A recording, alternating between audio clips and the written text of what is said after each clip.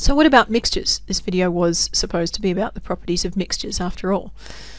Okay, uh, extensive properties of mixtures. Since they depend on the amount of material, there's not much of a distinction here. 10 cubic centimetres of pure water has the same volume as 10 cubic centimetres of salty water, which is a mixture.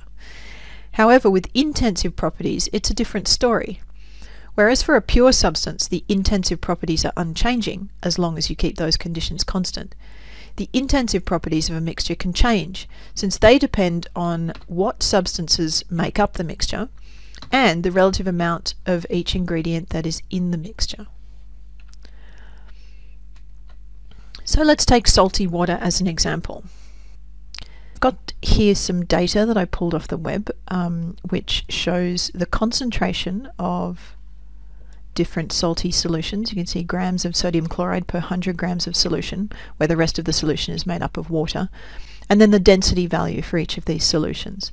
So you can see the first line here, um, we've got 0.1 grams of sodium chloride per 100 grams, which means that 99.9 grams must be water. And the density of that solution is 0.9989 grams per centimetre cubed. Note that uh, centimetre cubed is the same as a mil, so density uh, is often quoted in units of gram per grams per centimetre cubed, but that's exactly the same numerically as grams per mil. Okay, and what I'm going to do is graph this data and see if we can see any trends or changes. So we'll use a scatter graph.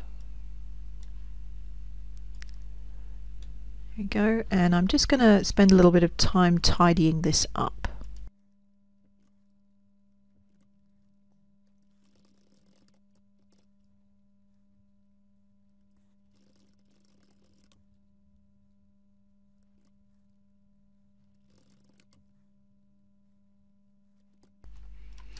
There we go. All right, so we've got our graph uh, and you can see that there's an obvious trend that as the concentration of salt in the salt solution increases, so does the density. This illustrates our point that the intensive property of density is not uh, a fixed value, for a mixture. It really depends on the proportions of the ingredients in the mixture. So here we've got as you uh, increase the proportion of salt, the density also increases. This makes sense because the atoms that sodium chloride is made up from, sodium and chlorine, each weigh more than the atoms that water is made up of, oxygen and hydrogen. So sodium and chlorine uh, atoms weigh more and are denser than water molecules. So when you add them to water, if you uh, increase the proportion of salt in the water, then you're making the whole solution denser. So the point here is that uh, the concentration of our mixture determines the density.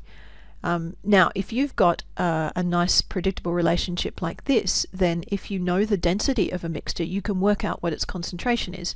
Uh, and this is a technique that's quite frequently used for determining concentrations, is to, if you know the ingredients of your mixture, you can determine its density, and from that you can work out its concentration.